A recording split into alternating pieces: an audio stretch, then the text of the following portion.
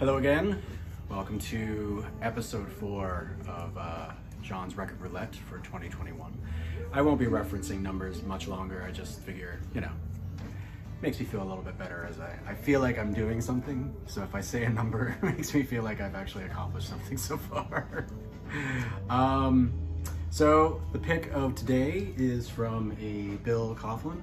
I'm assuming I'm saying your last name correctly. I apologize if not.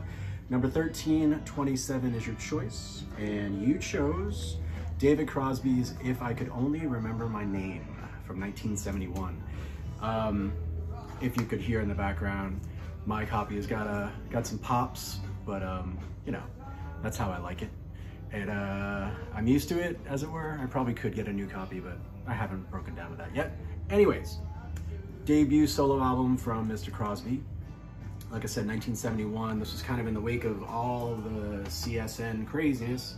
1970, we saw Deja Vu. We also saw Stephen Stills' solo album. 71 was Graham Nash's Songs for Beginners. Also, Neil Young put out uh, After the Gold Rush in 70 as well. So, not cashing in, as it were. Um, this was like a who's who's of all of that stuff. Everybody was on this album, from Joni Mitchell to members of Santana, Jefferson Starship, and Airplane, uh, Quicksilver, and all of the other members of CSN except for Stephen Stills, which is strange. I don't know if there's a story there or not, but whatever, doesn't really matter. Anyways, this album is freaking amazing. It is a lost classic. It went to number 12 in the charts, but uh, I know it was certified gold. It didn't really do a heck of a lot. It had single, a uh, couple, two singles released, went as far as like 95 of of the canon of solo releases, this was like the less uh, popular, as it were.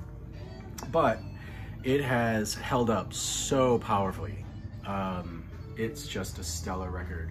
It's been re-released a few times, and uh, there was a review I think back in 2010 that um, they compared it to Nick Drake and Meddle era Pink Floyd, which I actually can endorse. If you like um, really kind of pastoral folk and or um, some weird psych, this is your record. And I can't, can't recommend it enough. Anyways, I think I've said everything that I need to say about this album. Um, please check it out. It's worth it. And thank you again, Bill. Thanks for playing. Till next time.